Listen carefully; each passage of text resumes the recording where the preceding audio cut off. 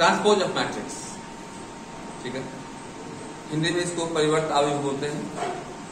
परिवर्त कहने से पता चल रहा है कि इसमें कुछ परिवर्तन होने वाला है। न्यू टॉपिक है आपके लिए। तो ट्रांसपोज ऑफ़ मैट्रिक्स को हम लोग या तो ए डैश से रिप्रेजेंट करते हैं या तो A to the power T से रिप्रेजेंट करते हैं। लेकिन होता क्या है? तो ट्रांसपोज ऑफ़ मैट्रिक्स में करते क्या है हम लोग? किसी भी मैट्रिक्स के का ट्रांसपोज निकालने के लिए जो बोलेगा तो उसके रो को बना देते हैं कॉलम और कॉलम को बना देते हैं रो तो transpose of matrix represented by इसका सिंबल होता है ये. सिंबल ए डैश होता है, या किसी किसी बुक में A to the power T भी लिखता है अब हम लोग निकालते कैसे हैं? तो इतना तो दिमाग में आ गया कि इसमें रो जो होता है कॉलम बन जाता है, या कॉलम जो है, क्या हो जाता है ये तो? रो हो जाता है। जैसे हम एग्ज़ाम्पल दे रहे हैं तो देखेंगे आप। क्वेश्चन कहेगा A equal to one x x square one y y square then find A dash first में कहेगा ए डैश निकालिए और सेकंड में कहेगा ए डैश का डैश निकालिए तो मैंने अभी बताया ट्रांसपोज मैट्रिक्स का मतलब होता है कि रो जो होता है रो बिकम कॉलम और कॉलम बिकम्स रो मतलब इसमें ड्यूटी चेंज कर देते हैं जो बहुत दिन से सोया हुआ है बोलते हैं तू खड़ा हो जा। ये दिस वन एक्स स्क्वायर जो आर वन है, वो क्या बन जाएगा? सी वन बन जाएगा। इसको ऐसे खड़ा कर देंगे one x x square one by y square now this answer if you want to find what is the value of A dash का डैश अगर आप निकालना चाहते हैं तो देखिए सेकंड ए डैश का डैश मतलब फिर जो रो है वो क्या बन जाएगा? कॉलम तो रो कॉलम में जाएगा। तो ऐसे जो है वो ऐसे वन वन हो जाएगा। ऐसे जो है वो एक्स वाई हो जाएगा। और एक्स स्क्वायर वाई स्क्वायर ऐसे हो जाएगा। आप गौर से देखेंगे ये आंसर हो गया। लेकिन यदि गौर से देखेंगे आपको फिर से वही आ गया। नहीं आ गया। यानी कि ए डैश का डैश इक्वल टू कितना होगा ये तो? ए हो गया। इसी बहाने मैंने एक फॉर्मूला निकाल दिया कि ट्रांसपोज का यदि फिर से ट्रांसपोज कर दिया जाए तो फिर से वही मैट्रिक्स प्राप्त हो जाता है। इस चैप्टर में हम लोगों को एक तो ट्रांसपोज मैट्रिक्स निकालना है, इसके बाद सिमेट्रिक मैट्रिक्स पढ़ना है, इसके बाद स्क्यू सिमेट्रिक मैट्रिक्स पढ़ना है। पहले थ्योरी में बता देता हूँ। अब देखिएगा, इसके बाद हम लोगों को पढ़ना है सिमेट्रिक मैट्रिक्स सिमेट्रिक मैट्रिक्स क्या होता है गौर से देखिएगा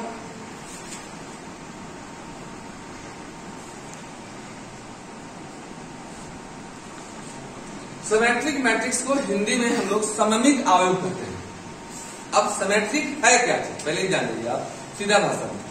कभी कभी देखे होंगे कोई कुछ वैसा टोपी होता है, जिसको सीधा डाले तब भी वैसा लगेगा, और गंदा हो गया तो उसको उलट के डाले तब भी वैसा ही होता है। तो उस पर कोई चेंजिंग नहीं होता। तो मतलब जैसे अब हमको देखिए आप सीधा देख रहे हैं ऐसे अब पीछे से देखिए। क्या दोनों तरफ़ से हम एक ही एक सा है क्या? नहीं है। नहीं है तो हम सिमेट्रिक नहीं क्योंकि दोनों तरफ़ से एक ही जैसा अगर हो तो उसे क्या बोलते हैं हम लोग? सिमेट्रिक यानी किसी मैट्रिक्स का अगर ट्रांसपोज करें और फिर से अगर वही मैट्रिक्स आ जाए। यानी if A is a square matrix such that A dash equal to A then A is got symmetric matrix if A is a square matrix मैंने इसमें सब मैट्रिक्स सिमेट्रिक नहीं हो सकता है। जब भी सिमेट्रिक होगा तो स्क्वायर मैट्रिक्स होगा। ट्रांसपोज आप किसी भी मैट्रिक्स का निकाल सकते हैं। लेकिन सिमेट्रिक के लिए स्क्वायर मैट्रिक्स का होना बहुत ज़रूरी है। नो नो स्क्वायर नहीं रहेगा तो सिमेट्रिक नहीं होगा। Okay if A a square matrix such that A dash equal to A, then A is called SM, symmetric matrix. आइए हम एग्ज़ाम्पल देते हैं। एक तो पहले ऐसा देते हैं जिसको ए डैश इक्वल ए नहीं आएगा। इसके बाद जो आएगा उसको दिखाना। खाने का मज़ा तो तब आता है जब कभी भूख का मज़ा ले चुके हो। तो भूख नहीं रहेगा तो खाना अच्छा खाना भी रहेगा ठीक नहीं बना। आइए पहले देखते दिखाते हैं हम आपको। एग्ज़ाम्पल पहला कहेगा H A equal to one eight seven five symmetric क्या सिमेट्रिक है सिमेट्रिक कब होगा? जब हम लोग उसको उल्टेंगे मतलब ट्रांसपोज निकालेंगे और ए डैश निकालेंगे और वह ए के बराबर आ जाए then can say that given matrix is symmetric matrix now A dash निकालिए मैंने सिखाया डैश निकालने कि row become column now one eight seven five अब दोनों को मिलाएँगे क्या बराबर है? वन तो वन है, लेकिन एट की जगह पर सेवन आ गया। सेवन की जगह पर एट आ गया five no eight is equal to A नहीं है, इसलिए A not symmetric it symmetric not symmetric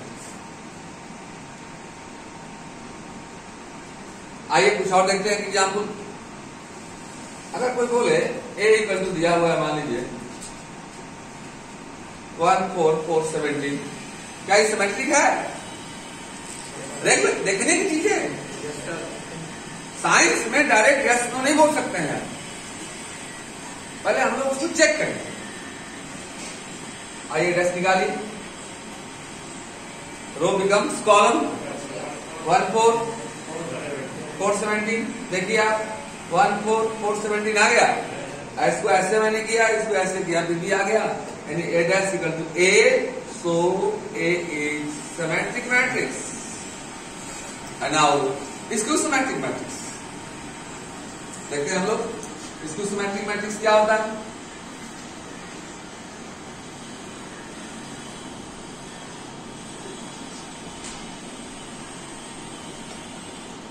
इसको हिंदी में विषम सम्मित आयुग कहते हैं। इसको बोलते हैं सम्मित आयुग इसको बोलते हैं विषम सम्मित आयुग बोलते हैं। इसका डिफिनेशन कुछ और होता है। इसमें होता है कि A is a square matrix such that if A is a square matrix such that A dash equal to minus A आ जाए। उसमें था A dash equal to A आ जाए। लेकिन इसमें उल्टेंगे ए डैश करेंगे तो पीछे से डंडा लगा के आ जाएगा। मतलब जो प्लस है उसमें माइनस हो जाएगा और जो माइनस है उसमें प्लस हो जाएगा तो अगर उस तरह कहा जाए तो that type of matrix is called symmetric matrix आइए देखते हैं हम लोग। कहेगा एच ए इक्वल टू क्या क्वेश्चन कहेगा so that A equal to zero B minus C minus B zero C या कुछ और कर दीजिए कुछ एम दे दीजिए C minus M zero so that A equal to इतना इज़ इसक्यू सिमेट्रिक मैट्रिक्स एडस निकालेंगे हम लोग? अगर एडस निकालें और माइनस से आ जाए। मतलब जहाँ माइनस है वहाँ प्लस आ जाए। जो प्लस है वो माइनस आ जाए। तो हम लोग कर सकते हैं कि एक सिमेट्रिक मैट्रिक्स है। वेरी वेरी इंपॉर्टेंट थ्योरी चल रहा है आइए हम लोग एडस निकालते हैं। और ये इतना थ्योरी जानते हैं तो अब एनसीआरटी के एट क्वेश्चन तक आप डायरेक्ट अपने से बना लेंगे। क्वेश्चन बनाना उतना ज़रूरी नहीं है जितना कि उसका कॉन्सेप्ट जानना ज़रूरी है। एक कॉन्सेप्ट या एक फॉर्मूला को समझकर हज़ारों सवाल बनाए जा सकते हैं, लेकिन हज़ारों सवाल बनाकर एक फॉर्मूला को नहीं समझा सकता है। Learn about the concept of that chapter आइए एड्रेस निकालते हैं हम लोग। रो क्या बन जाएगा? Column zero B minus C minus B zero M C minus M zero. अब नज़र डालकर देखिए आप जो प्लस था वो माइनस हो गया।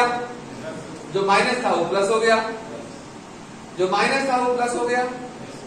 जो प्लस था वो माइनस हो गया।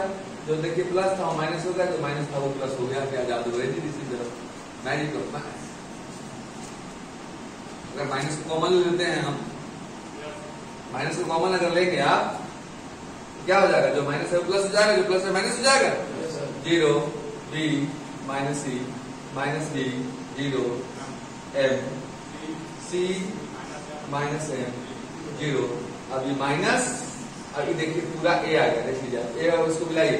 Zero B minus C zero B minus C minus B zero है माइनस बी ज़ीरो है this minus A since A dash equal to A so A is symmetric matrix इसके बाद अगले वीडियो में हम क्वेश्चन बताएँगे। तब तक मन लगाकर पढ़े पढ़ते रहें, ध्यान रखें, हर एक चैप्टर का कॉन्सेप्ट बहुत ज़रूरी।